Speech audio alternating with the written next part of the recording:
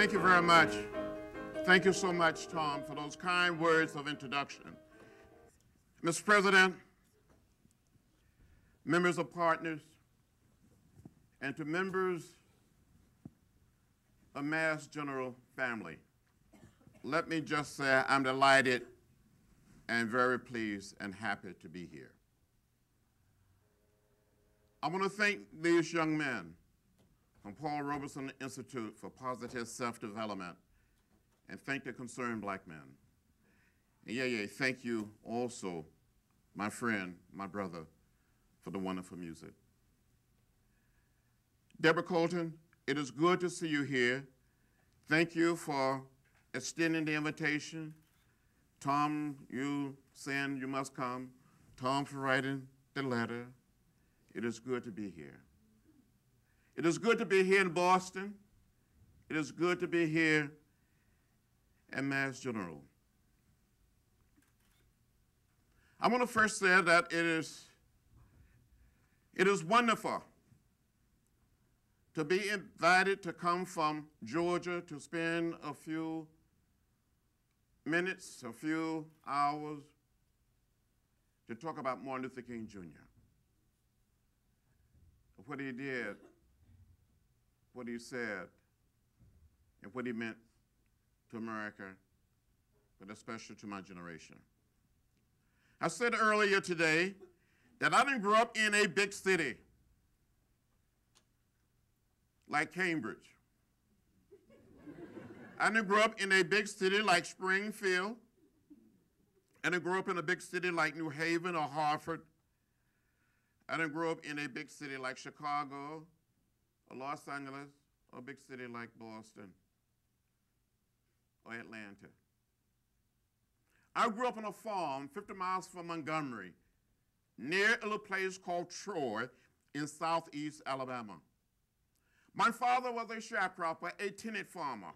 But back in 1944, when I was four years old, and I do remember when I was four, I really do.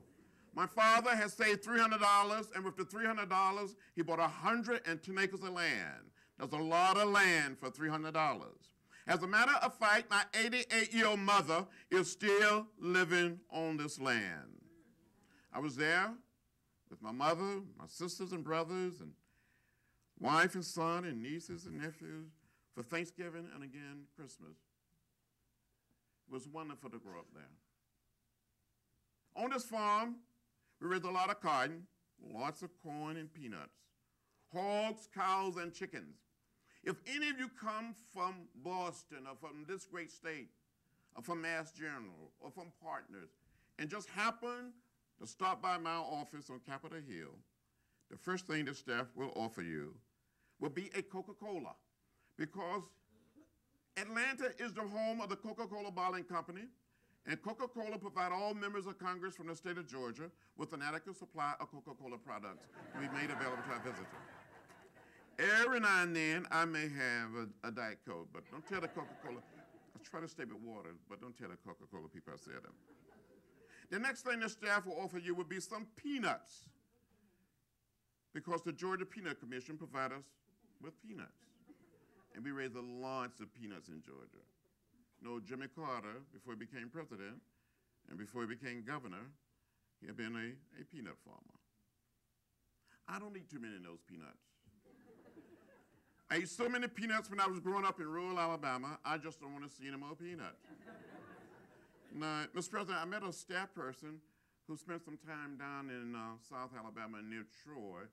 I don't see her now, uh, but earlier.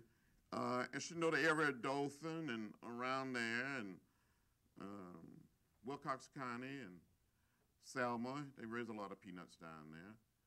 I used to get on a flight and fly from Atlanta and back to Washington and Washington. They try to give me some peanuts. I said, I don't care for any peanuts. I really don't like it. But also on this farm, we raise a lot of chickens. Now, how many of you know anything about raising chickens? Any of you? Oh, it's about three hands, maybe four. Well, you're wonderful. You're wonderful. Mass General is so wonderful. Partners are so wonderful. You help heal the sick. You bind the wound. You give people hope. a lot of research. You're doing wonderful, great work, but you don't know anything about raising chickens. Let me tell you what I had to do as a young boy growing up in rural Alabama during the 40s and the 50s. To take the fresh eggs, mark them with a pencil, place them under the setting hen, and wait for three long weeks for the little chicks to hatch. I know some smart doctor, some smart administrative assistant, some smart fella, some smart researcher. Oh, I know some smart person is going to say, John Lewis, why don't you mark those fresh eggs with a pencil before you place them under the setting hen? Well, from time to time, another hen would get under the same nest, on the same nest, and there would be some more fresh eggs. And you had to be able to tell the fresh eggs from the eggs that were already under the setting hen. Do you follow me? You don't follow me. When these little chicks would hatch, I would fool these setting hens. I would cheat on these setting hens. I would take these little chicks and give them to another hen. I'll put them in a box with a lantern, raise them on their own, get some more fresh eggs, mark them with a pencil, place them under the setting hen, encourage the setting hen to stir in nest for another three weeks. I kept on cheating on this setting hen. And when I look back on it, it was not the right thing to do. It was not the moral thing to do. It was not the most loving thing to do. It was not the most nonviolent thing to do. But I was never quite able to save $18.98 to order the most inexpensive hatchet from the Sears and Roebuck store in Atlanta. We ordered everything our clothing, our wagon, our tools, everything from the Sears and Roebuck store. We used to get this big catalog, and some people call it, the young people here are too young to to know anything about it. Maybe your grandparents or great grandparents will know something about it. We used to call that book the ordering book or the wish book. I wish I had this. I wish I had that. So I just kept on cheating on this setting here. But as a young child, about seven and a half or eight years old, I wanted to be a minister. I wanted to preach. So one of my uncles had Santa Claus to bring me a Bible. And I learned to read the Bible. And from time to time, with the help of my brothers and sisters and first cousins, we would have church. We would gather all of our chickens together, like you would gather here in this hall. And my brothers and sisters,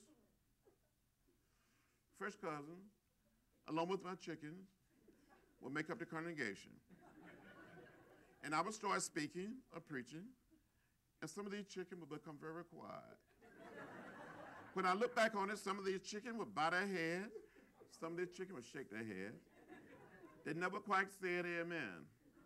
But I am convinced, beyond a shadow of a doubt, that these chickens that I preached to in the 40s and in the 50s tended to listen to me better than many of my colleagues listen to me today in the Congress. now, the Massachusetts delegation is an exception. As a matter of fact, some of these chickens were a little more productive. At least they produce eggs. And we won't talk about this Congress. That's enough of that story. But when I was growing up there and would visit the little town of Troy, visit Tuskegee, visit Montgomery, visit Birmingham, I saw those signs that said white men, colored men, white women, colored women, white waiting, colored waiting. As a young child, I tasted the bitter fruits of segregation and racial discrimination, and I didn't like it. In 1955, the age of 15, in the 10th grade, I heard about Rosa Parks. I heard the voice of Dr. Martin Luther King Jr. on the old radio, and his words inspired me to find a way to get involved in the civil rights movement. I wanted to do something. I asked my mother, my father, my grandparents, my great grandparents, why segregation? And they would say, that's the way it is. That's the way it is. But in 1956, at the age of 16, with some of my brothers and sisters and first cousins, we went down to the public library in Troy, Alabama, 10 miles from my home, trying to get a library card, trying to check some books out. And we were told by the librarian that the library was for whites only and not for coloreds. But on July 5th, 1998, I went back to the Pike County Public Library. For a book signing of my book, Walking with the Wind. And hundreds of black and white citizens showed up and they gave me a library card. It says something about the distance we've come and the progress we have made as a nation and as a people in laying down the burden of race. When I finished high school in 1957, I wanted to attend Troy State College, now known as Troy State University. Submitted my application, my high school transcript. I never heard a word from the college. Not one word. I wrote a letter to Dr. Martin Luther King Jr. He wrote me back and sent me a round trip Greyhound bus ticket and invited me to come to Montgomery. On a Saturday morning, September 1957, rather than going to Montgomery, I went to Nashville to school. Uncle of mine gave me a $100 bill, more money than I ever had. Gave me a foot locker, and I put everything that on, my books and clothing, in that foot locker. Everything and went off to school to Nashville. But while I was there, one of my teachers was a friend of Martin Luther King Jr. Informed Dr. King that I was in school in Nashville. Dr. King got back in church and suggested when I was home from spring break to come and see him. In March of 1958, by this time, I'm 18 years old. On a Saturday morning, my father drove me to the Greyhound bus station, I boarded the bus, traveled the 50 miles from Troy to Montgomery. A young lawyer, never seen a lawyer before, black or white, met me at the Greyhound bus station. A man by the name of Fred Gray, who had been a lawyer for Rosa Parks, for Dr. King, and the Montgomery movement, and drove me to the First Baptist Church, passed by the Reverend Ralph Abernathy. I walked inside of the door of the church, into the office, and I saw Ralph Abernathy and Martin Luther King Jr. standing behind a desk. And Dr. King said, Are you the boy from Troy? Are you John Lewis? And I spoke up and said, Dr. King, I'm John Robert Lewis. I gave my whole name. I didn't want there to be any mistake, I guess, that I was the right person. And that was the beginning of my relationship with Martin Luther King and Reverend Ralph Abernathy, the beginning of my involvement in the civil rights movement. As a student, I continued to study in Nashville. And while studying there, many of us started studying the philosophy and the discipline of nonviolence studying Thoreau and civil disobedience, studying what Gandhi attempted to do in South Africa, what he accomplished in India, studying the Montgomery bus boycott. And from time to time, Martin Luther King Jr., Ralph Abernathy, Rosa Parks, Daisy Bates of the Little Rock Nine, Coretta Scott King would come to Nashville and speak. And then we start sitting in segregated lunch counters and restaurants white and black students. And we'd be sitting there in an orderly, peaceful, nonviolent fashion, and someone would come up and spit on us. Put out a cigarette or light a cigarette out in our hair or down our bags. Pour hot water on us. Hot coffee, hot chocolate. Beat us. We would be doing our homework or looking straight ahead. Then they the local law enforcement people would arrest us and not the people beating us. When I was growing up, my mother and my father told us over and over again, don't get in trouble. I got in trouble. It was good trouble. It was necessary trouble because I had been inspired by Martin Luther King Jr. to stand up, to say no to segregation and racial discrimination. On February 27, 1960, the first mass arrest in the city movement took place in Nashville. Almost 100 of us were arrested. The first time I was arrested, I felt so free and so liberated. Between 1960 and 1966, I was arrested and jailed 40 times for sitting in, for marching, going on the Freedom Ride to make our country a better place. Just think a few short years ago when we marched on Washington to jobs and freedom. When we met with President Kennedy on June 21st, 1963, and later the day of the March on Washington on August 28, 1963. All across the South, you still had those signs saying white waiting, colored waiting, white men, colored men, white women, colored women. But through our action, and through the action of the Congress, and the leadership of John F. Kennedy and Lyndon Johnson, those signs came tumbling down, and they are gone, and they will not return. A few short years ago, in the heart of the American South, people of color could not register to vote simply because of the color of their skin. They had to pass a so-called literacy test, interpret some section of the Constitution of the state of Alabama or Georgia or Mississippi. On one occasion, there was a black man who had a PhD degree working at Tuskegee Institute now, Tuskegee University in Alabama. He flunked a so-called literacy test. He was told he could not read or write well enough. On another occasion, one parish in Louisiana, a man was asked to give the number of bubbles in a bar of soap. There was one county in Alabama, Lowndes County, between Selma and Montgomery. The county was more than 80% African American, but there was not a single registered African American voter in the county. People have been arrested, jailed, beaten, and some people arrested and jailed for encouraging people to become registered voters. Some of you may recall when Dr. King gave his I Have a Dream speech at the March on Washington. I was the youngest speaker. I had all my hair. I was a few pounds lighter, and I was 23 years old. In working on that speech, I've been reading a copy of the New York Times. I saw a group of women in Southern Africa carrying signs saying, one man, one vote. And so in my March on Washington speech of August 28, 1963, I said something like, one man, one vote is the African cry. It is ours too, it must be ours. And that became the theme, the rallying cry for those of us in the Student Nonviolent Coordinating Committee. We made a decision to go into Mississippi, to go deeper into Alabama for the right to vote.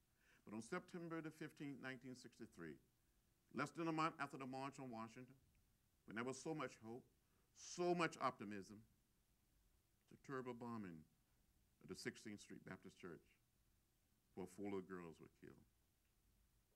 It was a sad and dark hour for the movement. But we didn't give up. We didn't give in.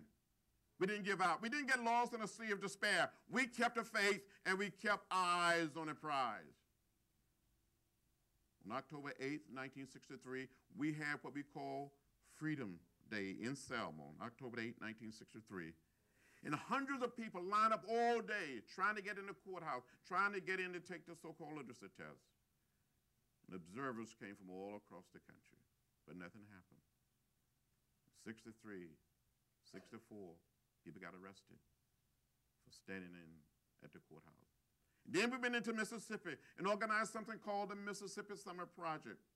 The night of June 21st, 1964, three young men that I knew, Andy Goodman, Mickey Schwerner, white, James Chaney, black, went out to investigate the burning of a black church. These three young men stopped by the sheriff, taken to jail. Later that same night, they were taken from jail by the sheriff and his deputy, turned over to the Klan where they were beaten, shot, and killed. These three young men didn't die in Vietnam. They didn't die in the Middle East.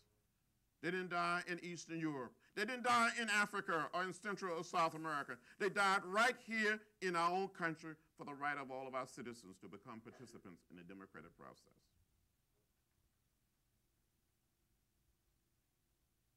On July 2nd, 1964, President Johnson signed the Civil Rights Act of 64. He won a landslide election in November 64. Martin Luther King Jr. received the Nobel Peace Prize in December 64. He come back to America, hold a meeting with us,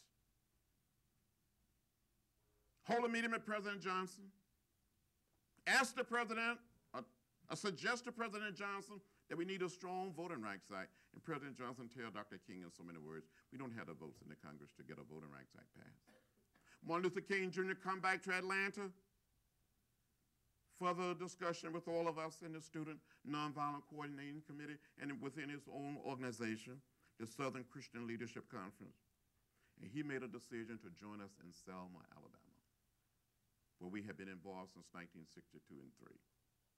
In Selma, Alabama, only 2.1% of blacks of voting age were registered to vote. The only place you could attempt to register was at the courthouse. It didn't matter whether you lived 40 or 50 or 60 miles away. You could only attempt to register on the third Mondays of each month. Selma had a sheriff, a very big man, by the name of Jim Clark, who wore a gun on one side, a nightstick on the other side, and he carried an electric cattle prod in his hand, and he didn't use it on cows. He wore a button on his left lapel that said never to voter registration. January the 18th, we mandated lead a group of elderly black men and women to the courthouse just to get inside the door, up the steps to get a copy of the literacy test. Sheriff Clark met me at the top of the steps and said, John Lewis, you're an outside agitator. You're the lowest form of humanity. I looked him straight in the eye and I said, Sheriff, I may be an agitator, but I'm not an outsider. I grew up only 90 miles from here and we're going to stay here until these people allowed to register to vote. And you said you're under arrest. They arrested me along with a few other people. We went to jail. A few days later, in a little town called Marion, Alabama, Perry County, the heart of the Black Belt, about only a few miles from Selma. This is the home county of Mrs. Martin Luther King Jr., Coretta Scott King, Mrs. Ralph Abernathy, Juanita Abernathy, Mrs. Andrew Young, the late Jean Young, all from this little place. Demonstration took place. Confrontation occurred. And A young man by the name of Jimmy Lee Jackson was shot in the stomach, and a few days later he died at the Good Samaritan Hospital in Selma. And because of what happened to him, we made a decision, the movement did, that we will march from Selma to Montgomery in an orderly, peaceful fashion, 50 miles away, to dramatize to the world that people wanted to register to vote. On Sunday, March 7th, after church, about 600 of us, mostly elderly men and women, and a few young people, after a nonviolent workshop, lined up in twos to walk in an orderly fashion from Selma to Montgomery. I was wearing a backpack before it became fashionable to wear a backpack. And in this backpack, I had two books and an apple and an orange, toothbrush and toothpaste. I thought we were going to be arrested and that we were going to go to jail. So I wanted to have something to read, something to eat, and since I was going to be in close quarters with my friends, colleagues, and neighbors, I wanted to be able to brush my teeth. we get to the edge of the Edmund Pettus Bridge, crossing the Alabama River. So all of this water down below, the young man walking beside me, named Hosea Williams, on Dr. King's staff, said, John, can you swim? And I said, no. And then I said, Hosea, can you swim? And he said, no. I said, well, there's too much water down there. We're not going to jump, and we're not going back. We're going forward. And we continue to walk without anyone saying a word. And we came to the highest point on the bridge, and down below we saw a sea of blue. Alabama State Troopers. Continue to walk. We came within hearing distance of the state troopers. And a man identified himself as Major John Cloud of the Alabama State Troopers. He said, This is an unlawful march. It will not be allowed to continue. I give you three minutes to disperse and return to your church. In less than a minute and a half, Major John Cloud said, True advance. And you saw these men putting on that gas mask. They came toward us, beating us with nightsticks, bullwhips, trampling us with horses, releasing the tear gas. I was hit in the head by a state trooper with a nightstick and had a concussion at the bridge. To this day, I don't know how I made it back across that bridge, through the streets of Selma, back to that church. I thought I saw death. I thought I was going to die. But on that Sunday afternoon, I do recall being back at the church. The church was full to capacity. More than 2,000 people on the outside trying to get in to protest what had happened on the bridge. And someone asked me to say something to the audience, and I stood up and said, I don't understand it. How President Johnson can send troops to Vietnam, but cannot send troops to Selma to protect people who only desires to register to vote. The next thing I knew, I'd been admitted to the Good Samaritan Hospital in Selma with 16 other people. Early that next morning, Martin Luther King Jr. and Reverend Ralph Abernathy came by to visit me in my hospital room. And Dr. King said, Don't worry, John, we'll make it from Selma to Montgomery. The Voting Rights Act will be passed. He issued a call for religious leaders to come to Selma. More than a thousand priests, nuns, rabbis, and ministers came and marched to that point where we had been beaten two days earlier. There was one young minister from Boston. Several came, but one by the name of Reverend James Reeb came March on March 9th to the point where we had been beaten, participated in the mass rally. Later that evening, along with three other ministers, they went out to try to get something to eat. And on their way back from the restaurant, they were attacked by members of the Klan. They were beaten. And Reverend Reeb was so severely beaten, he was transferred to the hospital in Birmingham, and two or three days later, he died. Because of what happened in Selma, there was a sense of righteous indignation. There was demonstration at every major college campus, almost every major city in America, at the White House, the courthouse, the Department of Justice all over the place. People didn't like what they saw on television or what they read about in the newspaper. Because of what happened in Selma, President Johnson spoke to a joint session of the Congress on March 15, 1965, condemned the violence in Selma, introduced the Voting Rights Act. He started that speech off that night by saying, I speak tonight for the dignity of man and for the destiny of democracy. He went on to say, at time, history and fate meet in a single place in man unending in search for freedom. So it was more than a century ago at Lexington and at Concord. So it was at Appomattox. So it was last week in Selma, Alabama. He condemned the violence in Selma. And in that speech, he said over and over again, and we shall overcome. I was sitting next to Martin Luther King Jr as we watched and listened to Lyndon Johnson. Tears came down his face. And we all cried we heard Lyndon Johnson say, We shall overcome. And Dr. King said again, the Voting Rights Act will be passed. We'll make it from Selma to Montgomery. And he was right. The Congress debated the Voting Rights Act, passed the law, and it was signed on August 6, 1965. So today, in the heart of the American South. there's hundreds and thousands of black elected officials. The same university that denied me admission when I got elected to Congress, they had John Lewis Day in their little town. And Troy State University band led the parade. And the chancellor of the university, who had been a roommate, a classmate of Governor Wallace, said, Congressman Lewis, we heard that you wanted to attend Troy State years ago. We offer you an honorary degree, will you come back? And I said, yes. So a few years later, they invited me back, gave me an honorary degree, so I got my degree from Troy State the easy way. and uh, so I make the point I'm making, Martin Luther King Jr. was said to us today to not to give up, not to give in. Don't become bitter. Don't get lost in the sea of despair. That we must keep the faith. That we must keep our eyes on the prize.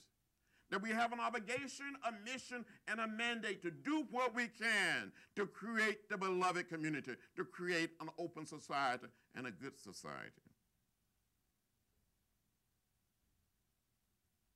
After we completed that march from Selma to Montgomery, there was a wonderful group of doctors men and women of medicine, part of the Human Rights Medical Committee for Human Rights, invited and made the arrangement for me to come here to Massachusetts General. And I spent almost a week here, the end of March and the beginning of April 1965. I wish I knew the doctor, Mr. President. I wish I knew the nurses. I wish I knew the room that I stayed in. And so I want to say thank you. Thank you. You know, if you believe in the spirit of history or believe in some force, call it divine or whatever you want to, somehow and some way, we're still here. And I said, thank you. I don't know.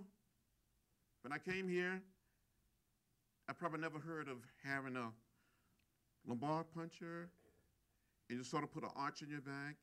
I remember it so well. They put a needle in your spine or something. I understand you don't need to do that now. But uh, I left here feeling very good about myself. So it's very moving to come back here 38, almost 38 years later to say thank you. Thank the people here at Mass General, the wonderful people at Partners, and thank all of you, all of you, because this part of America has been so good, been standing up and fighting for justice. Martin Luther King Jr. and Coretta Scott King received a great deal of their education right here in this city, in this community. I don't know where our country would be without Martin Luther King Jr. I, I said from time to time that Dr. Martin Luther King Jr. must be looked upon as one of the founding fathers of the new America. He not only liberated a people, he liberated a nation. This man's message was love. His method was creative nonviolence. His goal was the beloved community. He could speak, and the masses understood from his words that they were somebody. This man that I got to know, and I'm not talking about something I read about in the Boston Globe or the Herald or the New York Times, the Washington Post, or the Atlanta Constitution. But this man that I marched with, worked with, and went to jail with, he had the capacity to bring the dirt and the filth from under the American rug, out of the cracks and the corners, so we could deal with it. He brought light to dark places.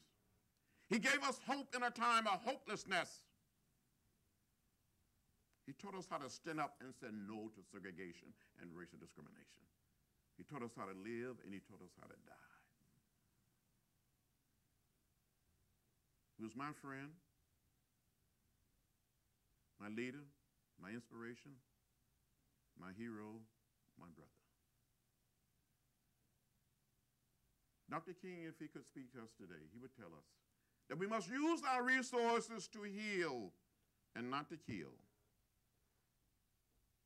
We must use our resources to build and not to tear down. We must use our resources to bring people together and not separate people. I want to tell one last story and I'll be finished. When I was growing up outside of Troy, Alabama, 50 miles from Montgomery, I have an aunt by the name of Seneva. Dr. King used to refer to the area where I grew up as being Four Corners, Alabama. He said, where? I said, I'm outside of Troy. He said, well, that's Four Corners, Alabama. But I grew up outside of this little town called Troy. I had an aunt by the name of Seneva who lived just a few doors away, and she lived in a shotgun house. I was born in a shotgun house. She didn't have a green manicured lawn. She had a simple, plain, dirt yard. And sometime at night, you can look up through the ceiling, through the roof of the shotgun house, and count the stars. When it would rain, she would get a pail of what we call a bucket and catch the rainwater. From time to time, she'd walk out into the woods and take branches from a dogwood tree and tie these branches together and make a broom, and she called that broom the brush broom. And she would sweep this dirt yard very clean two and three times a week, but especially on a Saturday or Friday because she wanted the dirt yard to look very good on the weekend. For those of you who are so young, who lived in urban America all your life, lived here in Boston or New England, and never seen a shotgun house, let me tell you what a shotgun house looked like in a non-violent non-violent sense, a shotgun house was house with a tin roof, where you can bounce a basketball through the front door and it will go straight out the back door. My Aunt Seneva lived in a shotgun house. But one Saturday afternoon, a group of my sisters and brothers and a few of my fresh cousins, about 12 or 15 of us young children, were playing in my Aunt Seneva dirt yard. And an unbelievable storm came up. The wind started blowing, the thunder started rolling, the lightning started flashing, and the rain started beating on the tin roof of this old shotgun house. Aunt became terrified. She started crying. She thought the whole house was going to blow away. As little children, we all started crying. She told us all to hold hands, and we did as we were told. The wind continued to blow. The thunder continued to roll, the lightning continued to flash, and the rain continued to beat on the tin roof of this old shotgun house. And when one corner of this old house appeared to be lifting from its foundation, Aunt Seneva had us to walk to that side to try to hold the house down with our little bodies. When the other corner appeared to be lifting, she had us to walk to that side to try to hold this house down with our little bodies. We were little children walking with the wind, but we never ever left the house. As citizens of America, as citizens of the world, Martin Luther King Jr. said we must never ever leave the house. We must stay together and hold the house together. We all live in the same house. Thank God, Mass General never left the house. Partners never left the house. The health providers have never left the house. You've been trying to hold the American house together. That's the reason we marched from Selma to Montgomery. That's the reason we marched on Washington.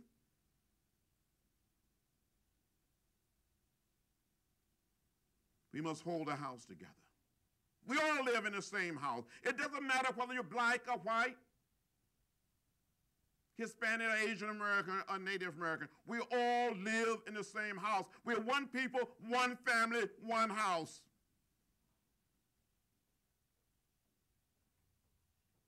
I said to you today, as we celebrate and commemorate the life of Dr. King, to walk with the wind Stay with the house. And let the spirit of history and the spirit of Martin Luther King Jr. be your guide. Thank you very much.